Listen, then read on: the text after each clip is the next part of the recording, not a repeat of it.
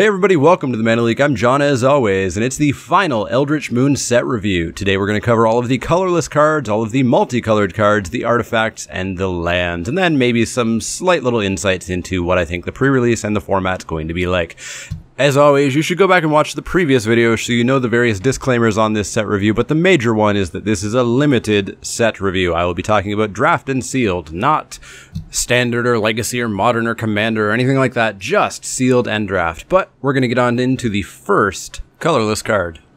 Up first, we have Abundant Maw. Abundant Maw is an 8 generic mana creature Eldrazi Leech it uncommon. It's a 6-4. It has Emerge, 6 and a black, which we haven't fully talked about just yet. Emerge, the reminder text says, you may cast this spell by sacrificing a creature and paying the Emerge cost reduced by that creature's converted mana cost. I believe I mentioned in some other uh, set review this week that doesn't decrease any of the colored mana. So even if you sacrifice 13 CMC Emrakul to Abundant Maw, you are still going to have to pay a black mana.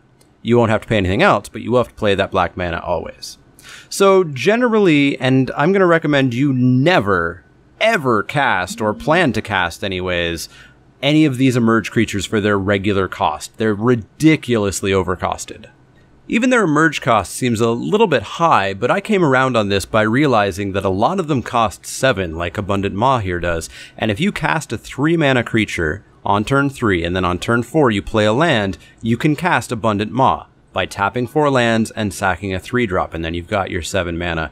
So I would generally treat these as 4 and 5 drops, at least the 7 mana ones. There's there's one that's really expensive that I don't know about, but we'll talk about that in a second. But that's not all. It's a 6-4, and when you cast Abundant Maw, target opponent loses 3 life and you gain 3 life. So it's Siege Rhino.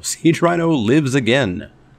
The other thing, of course, to keep in mind about emerge creatures like this one is that they really should not ever be considered colorless creatures because, as I said, you should be ignoring the fact that they can be cast for eight colorless mana, or generic mana rather. You should generally consider these to be the color of the emerge cost. So this isn't a colorless creature, this is a, a black creature as far as deck building is concerned. Overall, this does seem pretty fine because, of course, as I said, if you can do that curve out, if you can play a three drop into this on turn four, it should be really solid. A 6 point life swing is serious business, and a 6 4 is pretty darn beefy. It's ever so slightly weak on the toughness, but in most cases I think this should be pretty solid. I'd be happy picking this relatively highly, but probably not first pick. I don't think it's quite there, but I think it is a relatively high pick and will be fantastic in many, many decks, as long as you can kind of hit that curve. So, B minus for Abundant Maw. Next up, we have Decimator of the Provinces. Decimator of the Provinces is a 10 generic mana creature Eldrazi Boar at Mythic. It's a 7 7. It has Emerge, 6 green, green, green, so 9, so you get a 1 mana discount. When you cast Decimator of the Provinces, creatures you control get plus 2 plus 2 and gain Trample until end of turn. It has Trample, it also has Haste. This is the one that I really have no idea how it's going to play out. I'm initially worried because assuming that I'm not playing overcosted garbage, then the discount that I'm going to be getting on this is going to be relatively low. It's going to be 3-ish mana, which means this is still going to be a 6 drop with green, green, green in the casting cost. You're going to need to be very, very solidly in green to cast this thing, and probably preferably in some sort of ramp deck. Uh, if you can get this out, then it is basically the new Craterhoof of sorts. You really do kind of have to have a sort of a wide board, and that's not what ramp usually does. So I'm I'm really kind of confused as to what this wants to be, and maybe it just wants to be a constructed card. Maybe it doesn't want to be a limited card because I just I don't feel like you can reliably get to this and have a wide board. Now, it is a big, beefy creature on its own, so I think that is totally fine. Uh, but I just don't think it's going to be quite as amazing as you know, we all know and love Craterhoof Behemoth to be, but that's because we know it in elf decks and things like that. Generally, I think uh, Big Eldrazi Pig here is going to be fine, and I think it could be first deckable and then totally and utterly build around it. But, you know, if I get this pack 2 pick 1 and I'm lightly in green, I don't know about taking it. It really comes down to how good Emerge is. It comes down to what decks exist in the format. I think this is really format dependent, but we will have to see just exactly where it ends up. I'm going to go with a B. I think you can very reliably first pick and build around it, but I, I just I don't know if the deck it really truly wants exists. So we'll start with a B. It could go up, it could go down. We'll have to see. Next up, we have Distended Mindbender. Distended Mindbender is 8 generic mana for a creature Eldrazi insect at rare. It's a 5 5. It has Emerge 5 black black. So it's a black creature and it's got 7, just like the other one we talked about. It says when you cast Distended Mindbender, target opponent reveals his or her hand. You choose from it a non land card with CMC 3 or less and a card with CMC 4 or greater. That player discards those cards getting to hopefully force your opponent to discard two full cards, but that is really up to chance. If we're casting this on turn four, we probably have the best chance in the game to hit a three and a four because they won't have had a chance to cast either of those. The later in the game this gets, the less likely you are to hit a three or less uh, card. Uh, you might still hit a four or less, but we'll see. I think you really do want to curve out with this. You want to make it an early play, and if it is an early play, then it's huge because not only get to, do you get to do that, you get a five-five out of it as well. So I think this is a really, really solid card, but I think it does fall off a fair bit in the late game. It is still a five-five, which is totally fine. You know, it's not the worst thing to ever happen, but the ability is going to get a lot less good. Still, I think it's a very solid pick. Uh, could be a first pick. It depends on the removal in the pack. Uh, but I'm going to go with a solid B for Distended Mindbender. Next up, we have Drownyard Behemoth. Drownyard Behemoth is 9 generic mana for a creature Eldrazi Crab at Uncommon. It's a 5-7, it has Flash, it of course has Emerge, 7 and a blue, and it says Drownyard Behemoth has Hexproof as long as it entered the battlefield this turn. So this flash crab is going to be a huge surprise. It's a, a slight pain that it comes down as an 8 drop instead of the 7 drop like a lot of the emerge creatures do, which means it is going to take an extra turn before you can uh, kind of awkwardly curve into it. Uh, the 7 mana is the pure curve in. The 3 drop, turn it into a 4 drop. Anything above or below that, gets slightly awkward. You don't fully use every resource you have available to you. But still, sack a uh, 3 drop, pay 5, and you're good to go. With the hexproof for a turn, this thing's basically going to be indestructible the turn it comes down, and it should basically function as removal in combat.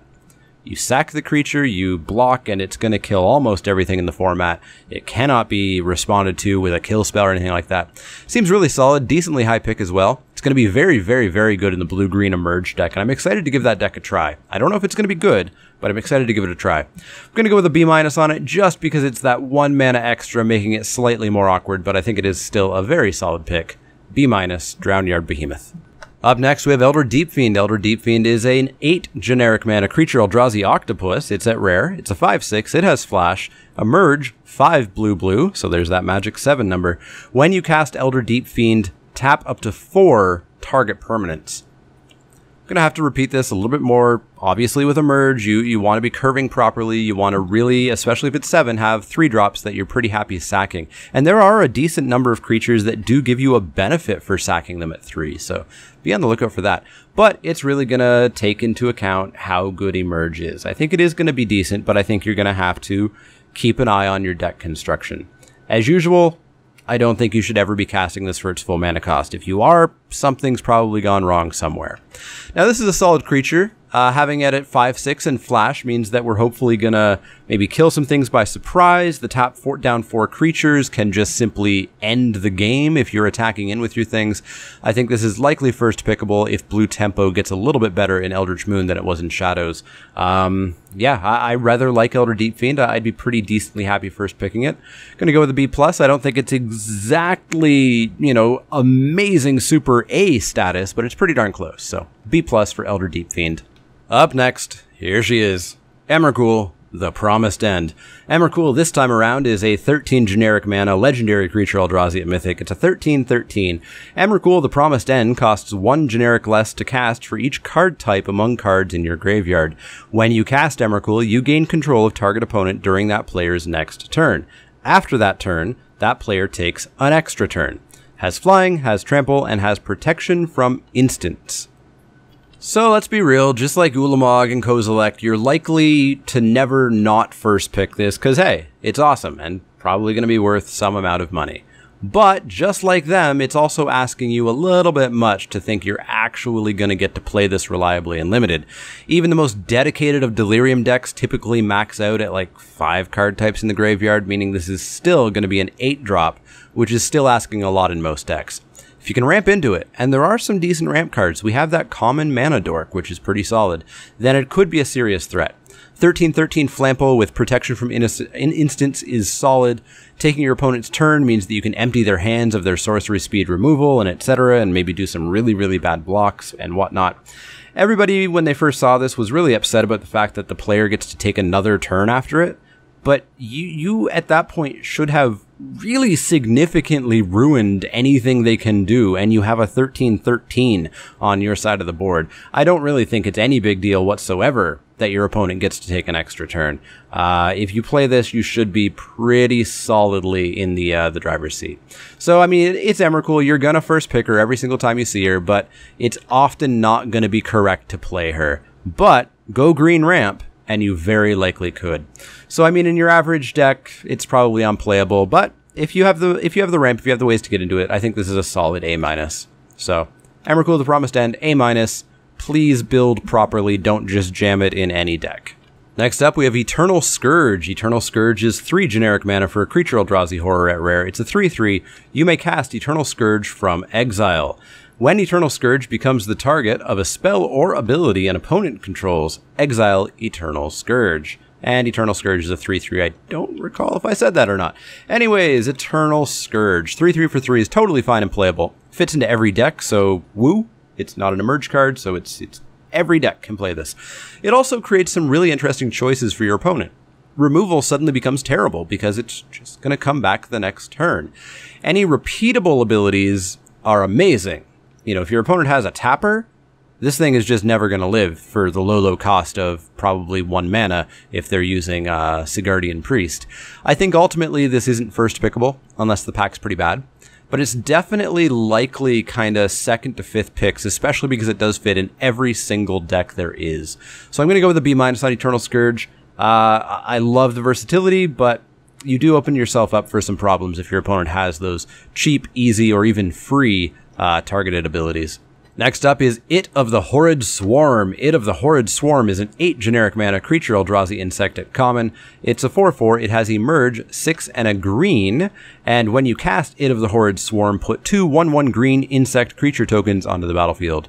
Again, this is a 7 drop Emerge creature, so as long as you curve your deck properly, it should function as a 4 or 5 drop. 4 or 5 drop 4 4 with two 1 1s, quite solid, though probably the weakest of all the emerge creatures we've seen and, and will see in this set. Likely more of a mid to late pack pickup simply because not everyone's going to want it for their deck. Still, if you're in or headed towards the blue green emerge deck, this should be there for you and you should be relatively happy picking it up. Uh, I'm going to go with a C plus on it. It's not for everybody. But if you're in a, uh, that one specific deck, I think it gets a bit better. Still really solid, just uh, kind of pales in comparison to the other ones. Up next, we have Lashweed Lurker. Lashweed Lurker is an 8 generic mana creature Eldrazi horror at uncommon. It's a 5 4. It emerges for 5 green blue, and when you cast Lashweed Lurker, you may put target non land permanent on top of its owner's library. So, Lashweed Lurker, this is the only two color emerge card, and that definitely hurts it a little bit because you are not going to play this in green or in blue. You're going to play it in green and blue. Uh, this has basically one home unless you splash for it, and I don't know if you'd want to splash for it, really. Uh, no other deck will be touching this, so odds are you should be able to get it to wheel in pack 2. It's an okay sized threat as well, with a very, very good ability. I love the ability, um, but that cost is going to hold it back just a little bit. I think it's still solid, and I think if you're in those colors, you're you are playing this and you're being pretty happy about it. But I just don't think it results in being a highish pick. So I am going to go with a B minus on it. I think you can leave this and get it back around generally. So Lashweed Lurker, B minus. Next up, we have Mockery of Nature. Mockery of Nature is a 9 generic mana creature Eldrazi beast. It's an uncommon. It's a 6 5. It has Emerge 7 and a green, so it's an 8 mana Emerge. When you cast Mockery of Nature, you may destroy target artifact or enchantment. Meh. This is a vanilla 6 5 for Emerge 8 in most, in most cases, and that's just pretty darn boring. It's big, but it just has no evasion or anything on it. Probably not worth it in most cases, and a pretty low pick. Ultimately, filler at best you know, it, you're not going to destroy many artifacts or enchantments with this, though. So I just don't see it being a high pick. I've got it at a C. I, I think maybe out of the sideboard it's okay in the blue green uh, emerge deck, but generally I'm pretty out on it. So C. Next up, we have Vexing Scuttler. Vexing Scuttler is an 8 generic mana creature Eldrazi crab at uncommon. It's a, set, it's a 4 5. It has Emerge 6 in a blue, and when you cast Vexing Scuttler, you may return target instant or sorcery from your graveyard to your hand. This is another fine Emerge 7 creature. I, I figure with that ability, it kind of wants to be in the spells deck, but I don't think the spell deck wants it because the spells deck isn't going to have many creatures. The one that it has are going to be relatively important, like Thermo Alchemist and uh, Weaver of Lightning, Docent of Perfection, etc. So you're not going to be sacking them. And they're not really going to want a dumb 4 5 creature just to get one thing back. So I don't think it really works in the blue red spells deck. I think it works better in the tempo y, mid rangey creature deck that is packing a decent amount of removal and tempo spells to get them back. Still, it seems ultimately fine and playable, just not a super high pick. So I'm going to go with a C plus on it. I think it's fine in those decks. Don't fool yourself. I don't think this goes into spells deck, despite the rules text down there. So, Vexing Scuttler, C plus. The final colorless card is Wretched Gryff. Wretched Gryff is 7 generic mana for a creature Eldrazi Hippogriff. It's at common. It's a 3-4. It has Emerge 5 in a blue. This is a 6-drop Emerge creature. It says when you cast Wretched Gryff, draw a card. Awesome. And it says flying. Also really awesome. So this is a six drop emerge flyer, which is pretty aggressively costed. Unfortunately, it does have the same curve as a seven drop emerge. You could sack a two drop and then play your fourth land and cast it. But yeah, that's not really that big of a deal. You're still getting this on turn four generally. Uh, at the earliest, just like the other ones. Still, it's a 3 4 flyer and it draws you a card. That is fantastic. It's going to be a really decent game that you're going to have once this comes down, especially if it comes down early. And even if it comes down later, it still is going to be a very solid creature, and that card draw is fantastic. Seems like a solid high mid pack pickup, and I think most blue decks that want creatures are going to want this. I think it's a solid B. I think you should take this probably like pick the pick three ish, maybe pick four ish, through to like pick six or so any later than that, and you probably should consider it to be a signal. Uh, solid B. I really, really, really like Wretched Gryff. Uh, yeah, solid B. So that's going to wrap it up for Colorless. They're all rather interesting, and outside of Emrakul and Eternal Scourge, they're all not really colorless. They're generally blue or green or black. So make sure that you do keep that in mind. Just because they have that colorless cost up there, you should not be putting them in any deck other than what their emerge cost is.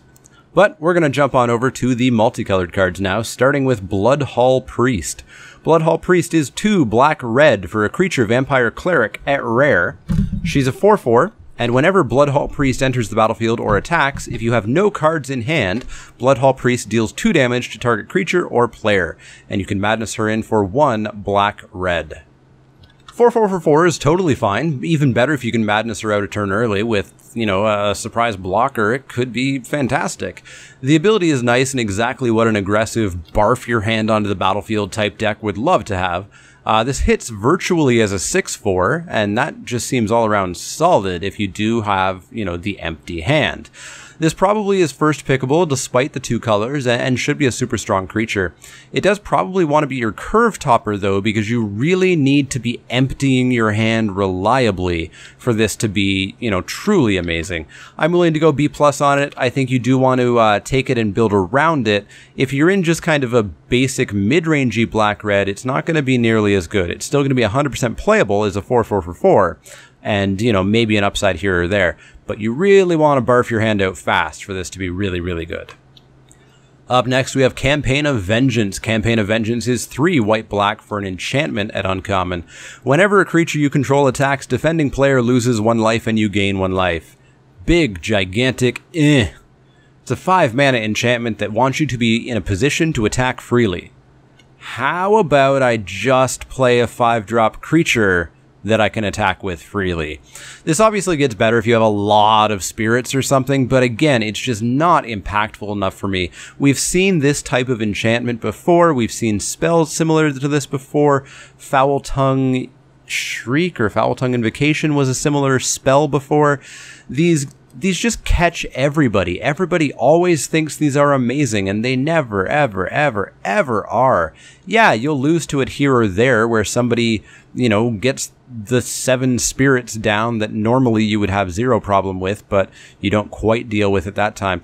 But it's just so unlikely for this to really be good that I'm just out on this card. Solid D, I never want to play this. I think this ability is just going to be just as bad as it always is, especially at 5 mana. Next up, we have Gisa and Geralf. Gisa and Geralf are two blue-black for legendary creature human wizard at Mythic. They're a 4-4, and when Gisa and Geralf enters the battlefield, put the top four cards of your library into your graveyard. During each of your turns, you may cast a zombie creature card from your graveyard. Again, it's a 4 mana 4-4, which is totally playable, just like Bloodhall Priest. This one does require some work to be much better, uh, which Bloodhall Priest requires as well. You do need to really have a critical mass of zombies, and ideally good ones, to ensure that you're getting a lot of value out of this. It, it should create a very flavorful game where you can throw your zombies in front of things and then bring them back next turn definitely a build around first pick where you take this and you push zombies really hard. Getting this pack 2 might make that plan a bit harder, especially given the lack of quality zombies you're going to get in pack 3 in Shadows. There's just so few there. Should be interesting, but it does require a fairly specific deck. I, I think it's first pickable only because that's where you really want to take it for it to be great, where you can super build around it. Uh, if you're building the zombie deck hoping to get this, you're asking way too much. Still, I'm going to go B+. plus. It's 100% playable as a 4-4 for 4 that does some mill, which blue-black is generally going to be okay with, even if it's not the super zombie deck, but it's obviously going to get better if you are. So, Gisa and Geralf, B+. plus.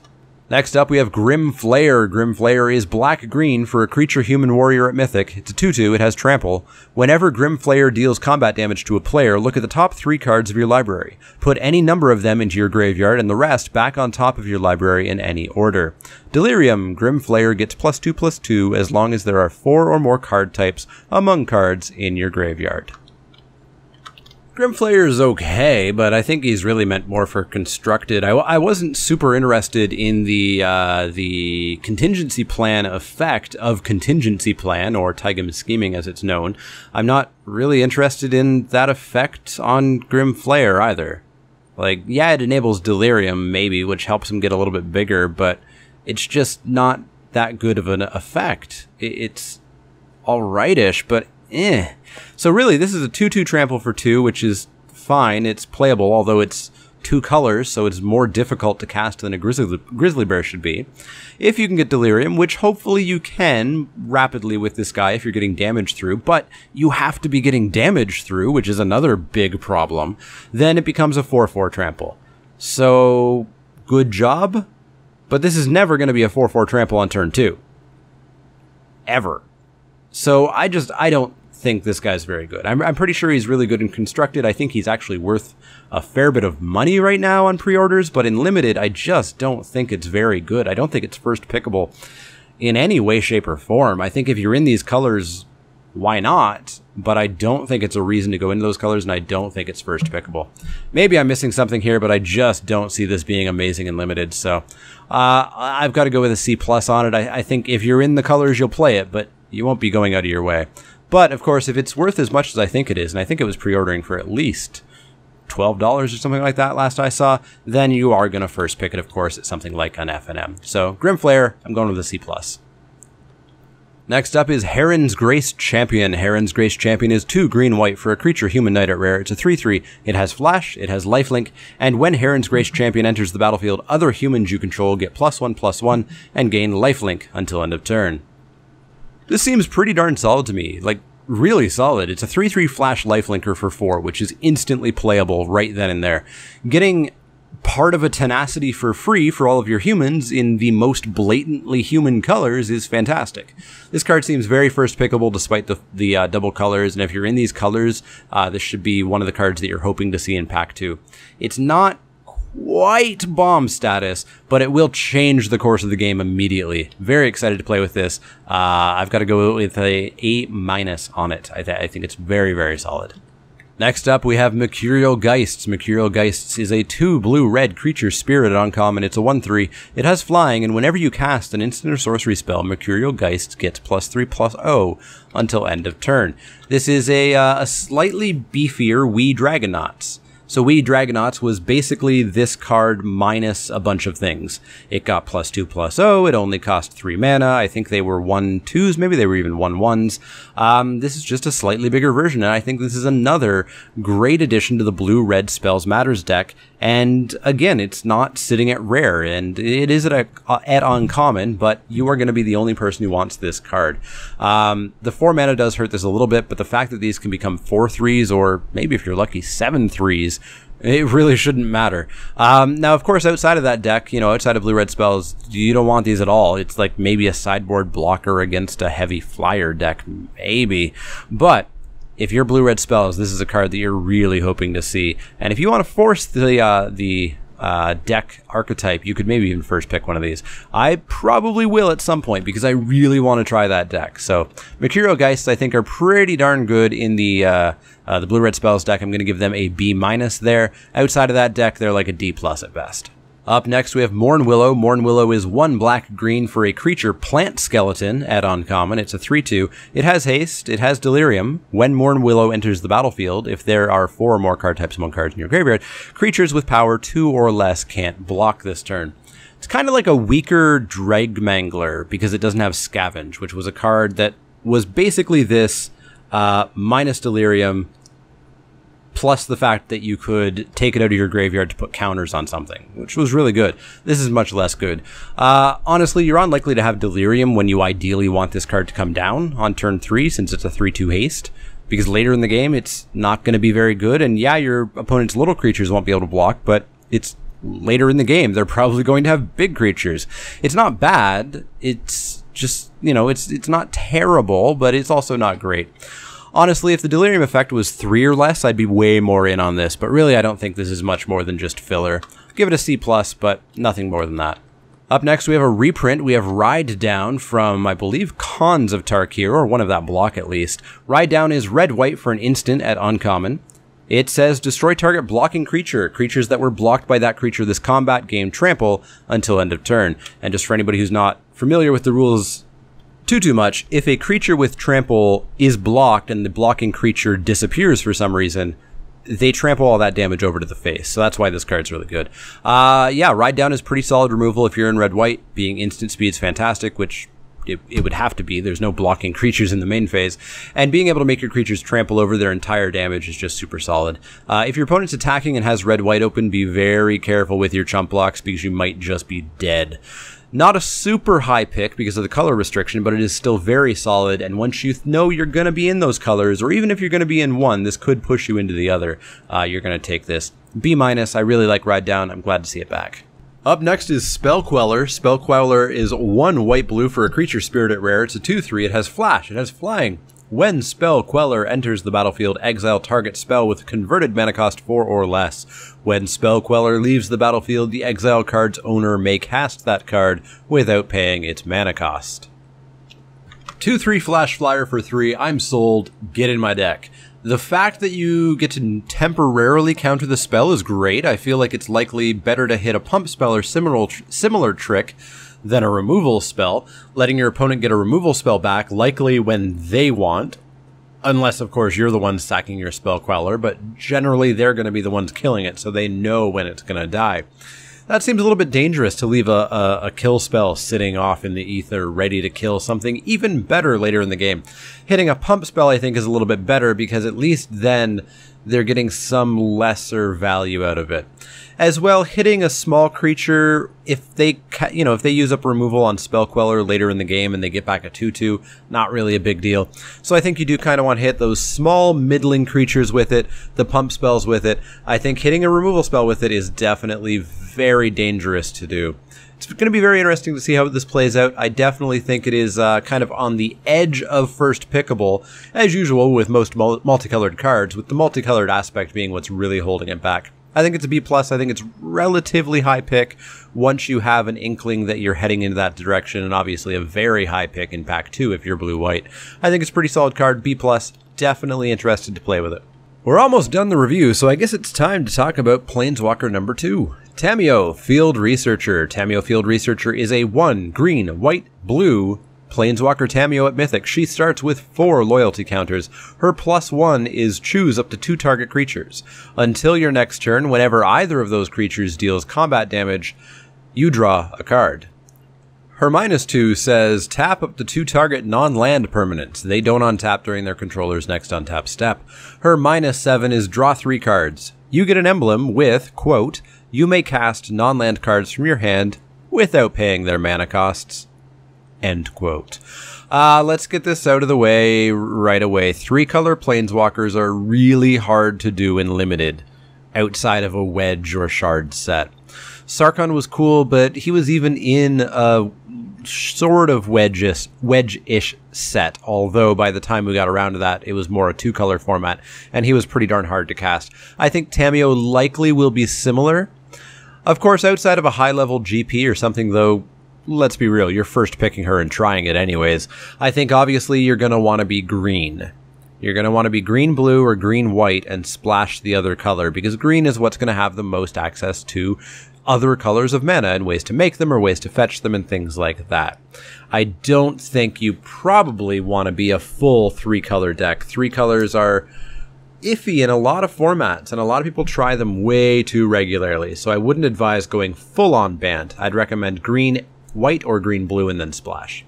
Anyway, so her abilities. She starts with four loyalty counters for four mana. That's fantastic. She passes the Planeswalker vanilla test. Her plus one is some serious card draw. Note that this is really an incredible version of the Ophidian effect, as it's purely combat damage, not combat damage to a player. Combat damage to a creature, combat damage to a player, combat damage to a planeswalker. Combat damage lets you draw a card. In addition, you can hit your opponent's creatures with this. It might convince your opponent not to attack if it means that you're going to get some cards if they do. So her plus one is somewhat uncharacteristically sort of protection. It's not the best protection because it doesn't actually stop your opponent you know, physically or, or via game rules. It just maybe convinces them to uh, to not attack Tamiyo. Um, and it also functions as card draw. So it's like card draw and protection in her plus one. Her minus two is equally awesome. It's pure protection, freezing up the two opponent's uh, creatures, protects her very, very well. It helps you aggro through. It just has so many uses. Her ultimate is just literally win the game, or, or more specifically, it's Ancestral Recall and then win the game. Uh, if you ultimate with this, you need to really screw up to lose. She has to survive three full turns without being hit to get there, but boy, when you get there, it's going to be one of the most demoralizing things ever for your opponent. Uh, I think her ultimate is definitely one that you can very strongly aim for. It's not one of those ultimates where it's like, well, it'll put me in a really good spot to begin to win. No, she should basically let you just barf your hand out and win the game from there. Uh, Tamiyo seems fantastic. Realistically, as I said, outside of a you know top eight GP, you're first picking this every single time you see it. A little bit less realistically, you're maybe passing it over premium removal or anything like that, but I think you are still picking it and just going for it because Oh, she is just solid. She's fantastic. She is a solid A in my books. Um, I think she's fantastic. I just don't think you should push that three color deck. Do a two color with a splash. That's going to be the safest way to go about it. So, Tamiyo, A. Our final multicolored card is Ulrich of the Krallenhorde. Ulrich is 3 red green for a legendary creature human werewolf at Mythic. He's a 4 4. Whenever this creature enters the battlefield or transforms into Ulrich of the Krallenhorde, target creature gets plus 4 plus 4 until end of turn. And he has the old werewolf ability, where if nobody casts a spell last turn, you transform him at the beginning of each upkeep. His transformed side is Ulrich Uncontested Alpha. He's a legendary creature werewolf at Mythic. He's a 6-6. Whenever this creature transforms into Ulrich Uncontested Alpha, you may have it fight target non-werewolf creature you don't control.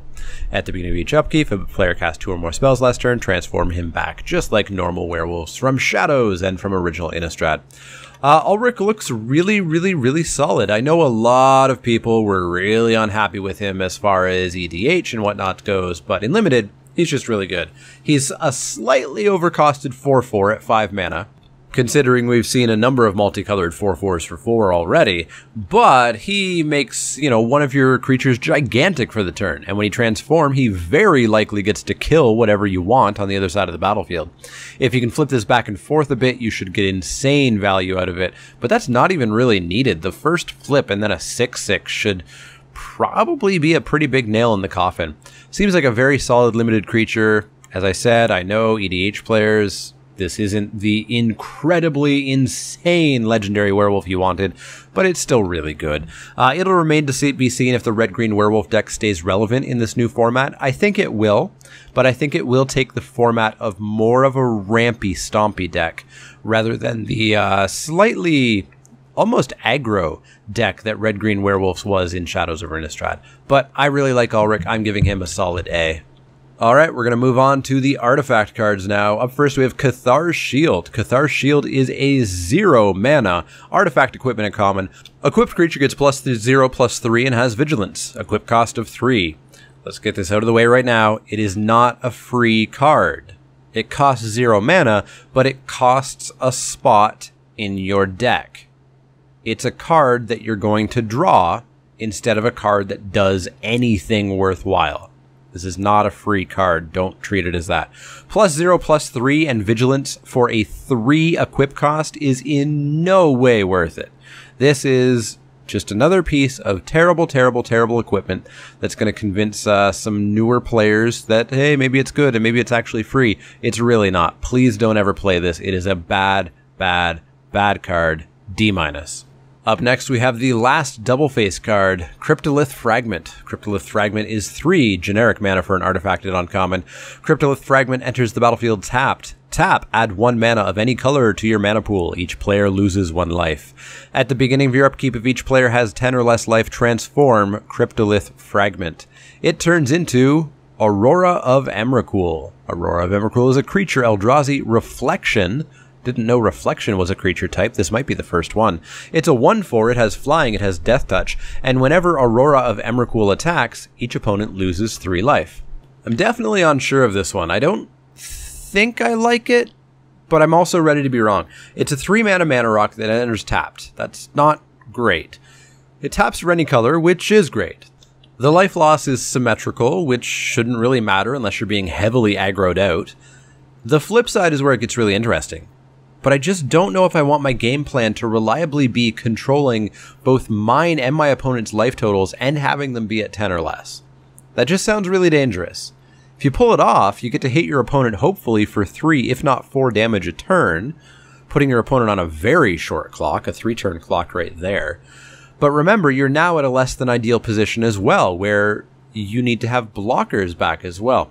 This just feels a little bit too mutually assured destruction-y for me to want to try it, but I am going to keep an eye on it for sure. It could be okay, but I'm going to start cautiously at a C minus.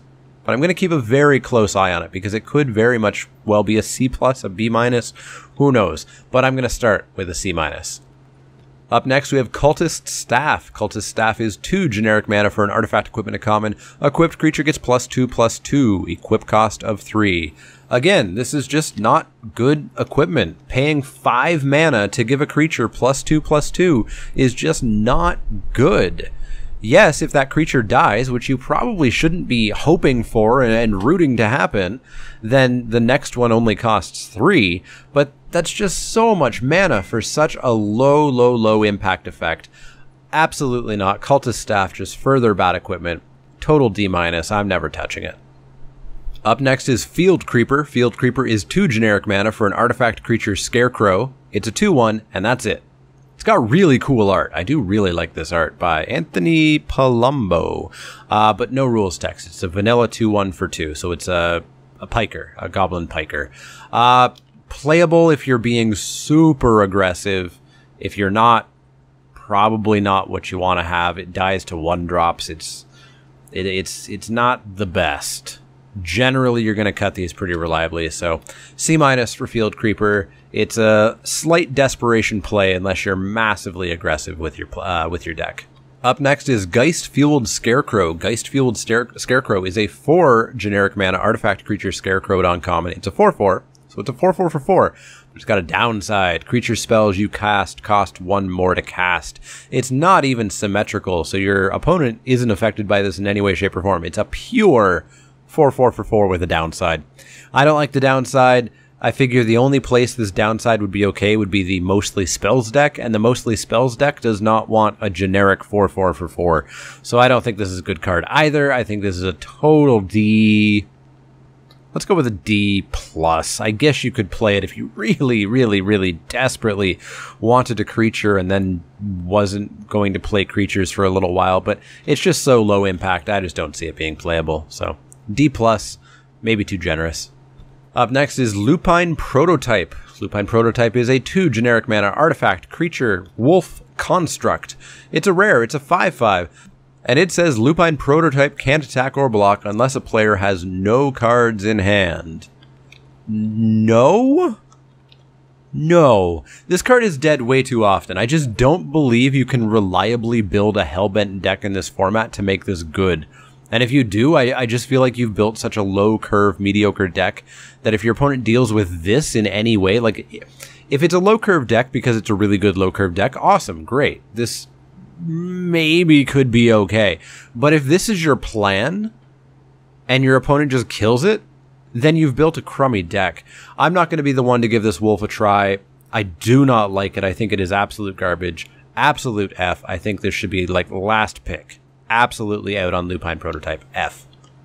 Up next is Slayer's Cleaver. Slayer's Cleaver is 3 generic mana for an artifact equipment at uncommon. Equipped creature gets plus 3 plus 1 and must be blocked by an Eldrazi if able. Equip cost of 4.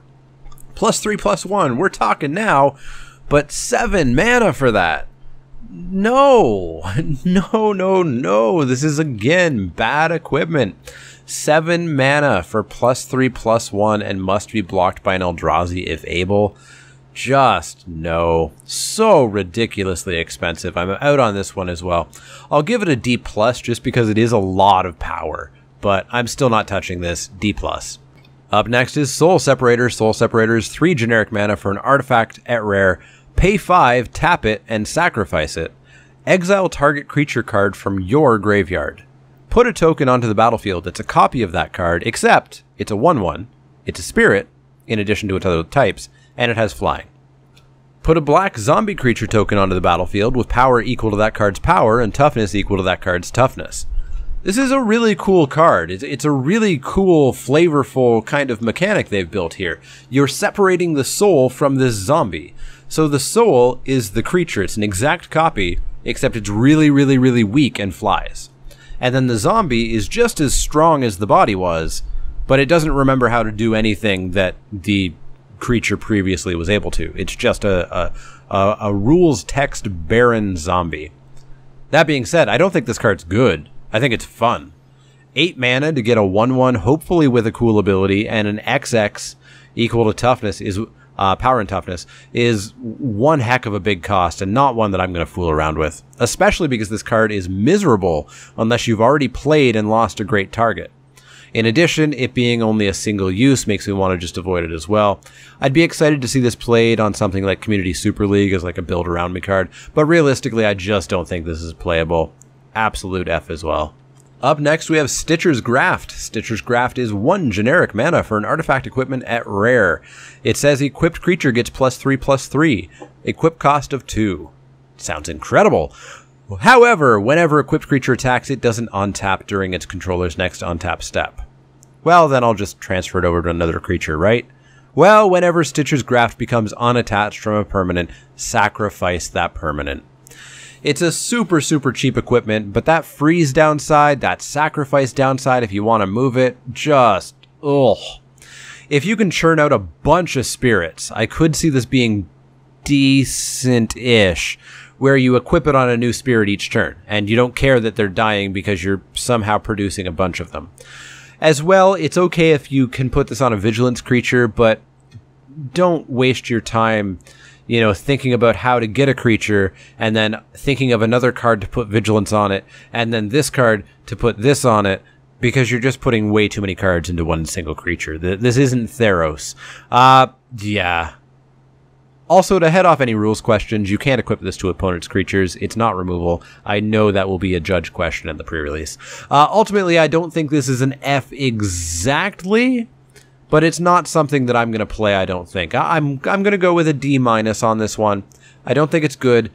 I'm willing to see if it plays out in a massively wide spirits deck, if that even exists.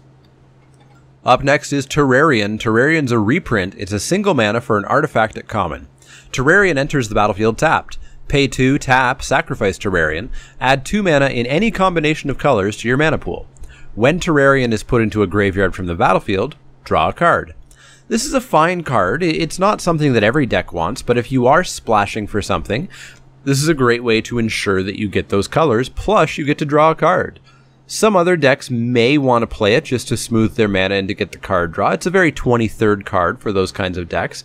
It's not a high pick in any way, shape, or form. It should definitely go mid to late mid pack. But uh, yeah, it's a fine enough card. I'm willing to give it just a, a middle of the road C. The last artifact we have is Thirsting Axe. Thirsting Axe is 3 generic mana for an artifact equipment at uncommon. Equipped creature gets plus 4 plus 0. Equip cost of 2. Sounds amazing, right? Well, at the beginning of your end step, if equipped creature didn't deal combat damage to a creature this turn, sacrifice it. I first read this, and even as I watched the pre pre release, assumed that this said at the beginning of your end step, if equipped creature didn't deal damage, sacrifice it. But it's explicitly to a creature. That's so narrow and so easy for your opponent to say, well, I'll take the damage, and then your creature's dead.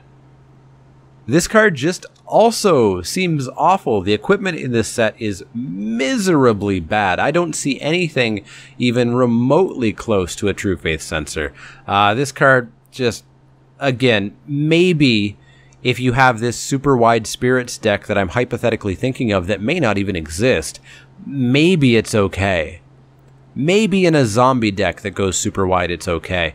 But outside of that, I just don't see it. I'm going to go with a D minus on this one as well. I, I just don't think it's good.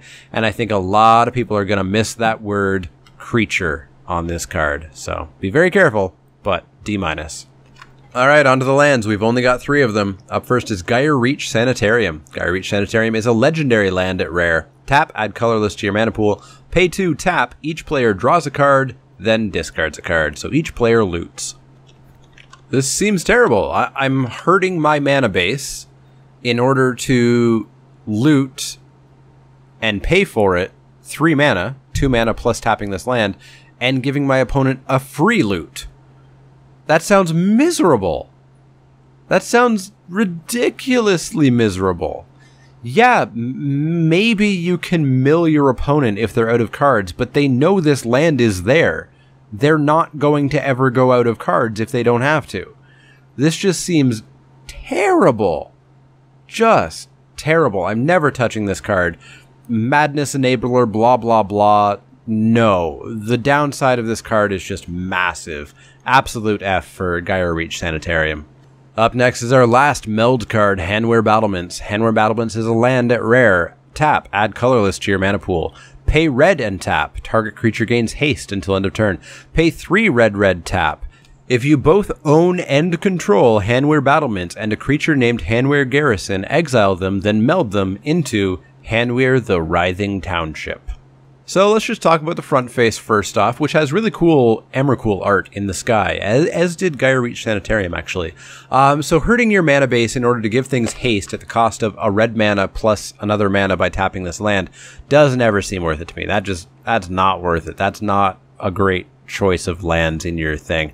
This obviously goes up a billion times if you have actually managed to draft Hanweir Garrison in addition to Hanweir Battlement, but again, that's not super likely. Um, yes, people aren't going to draft this heavily. So if you have opened Garrison and somebody opens this, if the table isn't hate drafting, which you can never guarantee depending on where you are, uh, you may not get Hanweir Battlements. But realistically, the odds are just low that you're going to actually get a Hanweir Battlements plus a Hanweir Garrison. But if you do, let's take a look at what Hanweir Garrison and Hanweir Battlements uh, meld into. Hanweir the Writhing Township is a legendary creature Eldrazi Ooze. It's a 7-4, it has Trample and Haste, and whenever Hanweir the Writhing Township attacks, put two 3-2 colorless Eldrazi Horror creature tokens onto the battlefield tapped and attacking. The Writhing Township is awesome. It's a huge creature that attacks virtually for 13 damage. If this survives through its first attack, the game should basically be done. If you can pull this off, you, you should be sitting pretty. But again, it's so unlikely that you'll be opening and past both of these cards to pull it off that it really shouldn't matter. For Hanweir Battlements, I've got to give it a D. I just don't think it's a very good card, so D unless you have Hanweir Garrison already. And I don't even think that I would ever draft battlements first, hoping to open Garrison later, unless there was nothing else left in the pack. So we're talking like late. All right, we've made it. Card number 205, the last card in the set, Nephalia Academy. Nephalia Academy is a land at uncommon. If a spell or ability an opponent controls causes you to discard a card, you may reveal that card and put it on top of your library instead of putting it anywhere else. Tap, add colorless to your mana pool. I guess this is like anti-Thoughtseize tech for modern or something, but this just is not for limited. It's not for limited at all. These effects are so few and far between and generally just should not be played by your opponent outside of amazing things like Distended uh, Mindbender or something like that. But, you know, your average Mind Rot spell, that's just not something that should really be played that you'll ever see.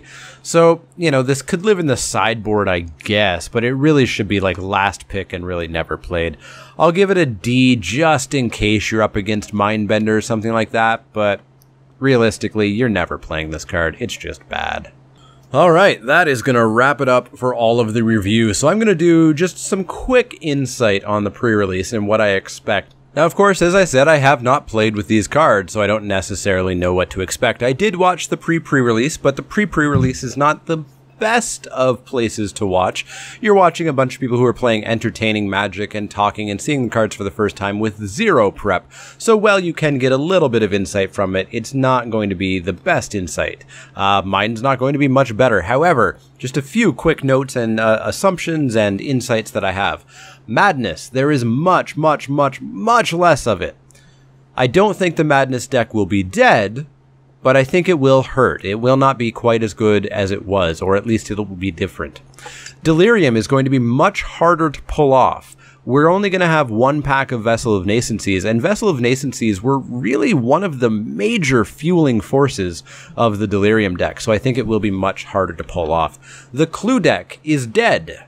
The Clue deck is dead. Blue-green clues will not be draftable, because we're only getting one pack of Shadows of Innistrad. It will not be draftable. Blue green is now emerge. Speaking of emerge, think about your curve and treat those emerge creatures as where you're likely to cast them, not their printed CMC, because you really should never be casting them for their printed CMC. The red blue spells deck seems to me to be much easier to pull off. I think it could actually be a decent thing uh, in draft. I, I, would not recommend it in sealed. You're just not going to have all the cards you need for it. Uh, zombies are actually a thing this time around. We had a lot of zombie cards, not a lot, we had a number of zombie cards in Shadows that seemed like they wanted a zombie deck and it just wasn't there. Turns out it was over here in Eldritch Moon. Uh, there's a sacrifice theme that I'm not exactly sure what colors the deck will be. There's at least, off the top of my head, white cards, black cards, and green cards that all want this sacrifice deck to exist. Maybe it'll be an Abzan deck, but I'm not entirely sure.